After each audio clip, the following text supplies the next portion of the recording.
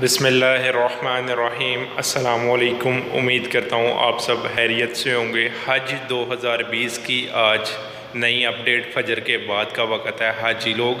मीना जमरात में पहुँच चुके हैं। ये सामने शैतान है। देखें कैसे सोशल डिस्टेंस के साथ एक जो मेंटेन किया गया गवर्नमेंट ऑफ़ सऊदी अरेबिया की तरफ़ से, उसके साथ हाजी लोग बसों पे आए हैं और आके ये रमी कर रहे हैं। शैतान को कनकरियाँ मार रहे हैं। ये हज 2020 है, आज ईद है सऊदी अरब में। उसकी वीडियो है, हाजियों की लिमिटेड हाजी हैं। एक हज़ार से ज़्यादा मुझे नहीं लगते ये हाजी। हज की दूसरी अपडेट्स के लिए मेरे चैनल को सब्सक्राइब कीजिए, लाइक कीजिए इस वीडियो को और बेल आइकन दबाना ना भूलिए ताकि हज की तमाम अपडेट्स बर वक्त आप तक पहुँच सकें।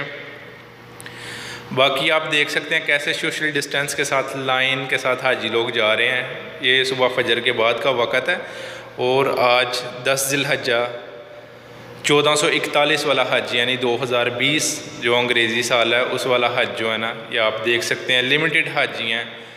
कोई मतलब के डिसिप्लिन की खिलाफ वर्जी नहीं कर रहा। सब डिसिप्लिन के साथ जो कानून बनाया गया है, जो कायदे हाजियों के लिए बनाए गए हैं, उसको मद्देनज़र रखते हुए जो है ना, शैतान को पहले दिन कनकरियाँ मारें, अब तीन दिन जो है ना, कनकरियाँ अल्लातूल जो है ना, मारी जाएँगी लगातार।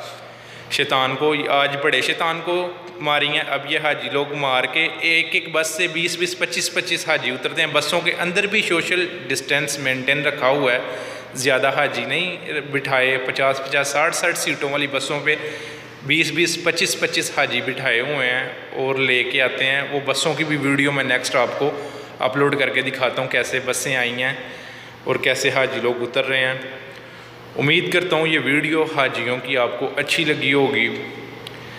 ये देखें आप ये बसें सामने आपको नज़र आ रही हैं, लगी हुई इन बसों में हाजी लोगों को लाया गया है और इसके बाद जैसे जैसे मार रहे हैं, ये हाजी वापस जा रहे हैं अपनी बसों में बैठ के। अब इनको हरम ले लेके जाया जाएगा, उधर ये तवाफ़ करेंगे, ठीक है? तो उसके बाद इनको जो है ना, छोड़ दिया जाएगा होटल में। अभी अपना टेंट भी करवाएँगे, कुर्बानी भी करेंगे।